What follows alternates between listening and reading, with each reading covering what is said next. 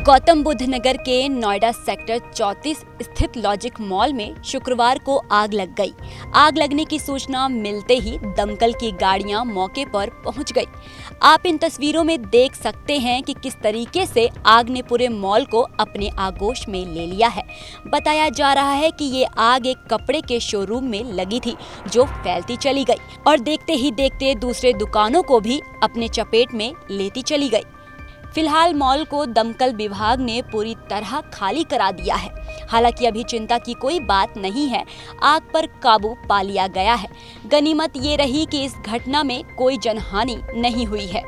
थाना सेक्टर 34 के अंतर्गत इस मॉल में आग लगने की वजह का पता अभी तक नहीं चल पाया है।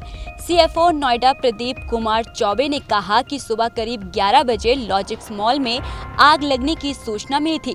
फ़र्स्ट फ्लोर के कपड़े के शोरूम एडिडास में आग लगी थी। मॉल में काफ़ी धुआँ हो गया था। लोगों को ग्लास तोड़कर बाहर निकाला गया और कोई जनहानि नहीं हुई।